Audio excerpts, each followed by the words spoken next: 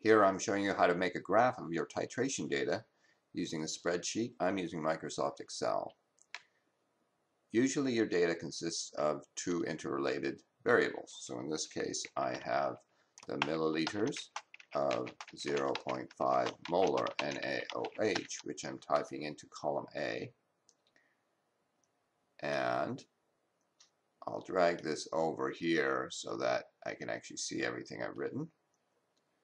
Column B, I'll be graphing pH.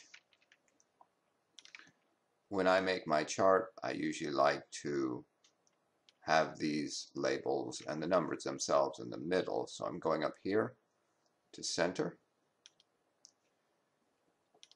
Now I type in my numbers. Start with 0, 5, 10, 15, 20, 25, 30, 35. And the pH values will be whatever you recorded, as well as this uh, column here, whatever you recorded in your actual lab experiment. But let's imagine I have something that looks like this. And I'm typing in the pH values that I recorded during the experimental part of my lab.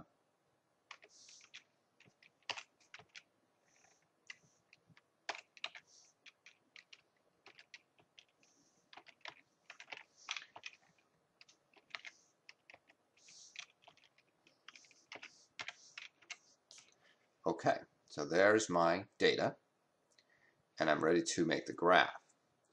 To make the graph, I will highlight or put a box around all the data, the two columns. Up here at the top, I will now insert a graph. There are all these graph types. Most people think you want line, but reality you want this a scatter plot. See how it says it compares pairs of values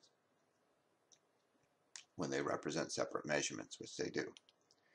I have choices here, either lines or no lines, and markers or no markers. I will choose this one, scatter with smooth lines and markers. Click on that. So my graph comes up and it looks pretty good just to start here, but I'll make it better. I will change the title to be something meaningful. Titration of a buffer with strong base. Okay, that makes this much more meaningful. This label here I don't need, so I'm actually deleting it so that I have more space for the graph. Now I need to put labels on the axes. What are these numbers here? We need labels. So up at the top here, under Chart Tools, there's a button that says Layout, and I go to Axis Titles. There are two axes, so let me first label the primary vertical axis, that's the y-axis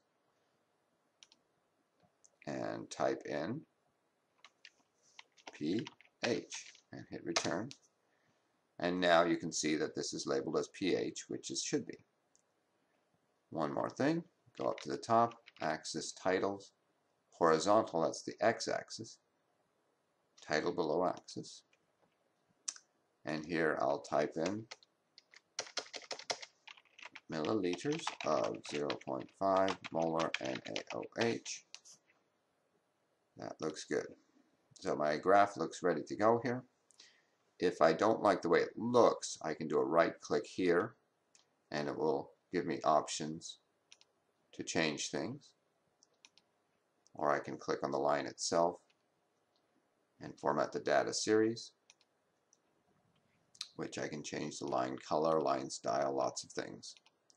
Here I just want to copy this graph and put it in my lab write-up. So I'm clicking here I'm clicking here where there isn't anything, just in this blank space. Right click and copy. And now I can put this into a Word document, for example, where I just do uh, paste. And there's my graph in my lab write-up.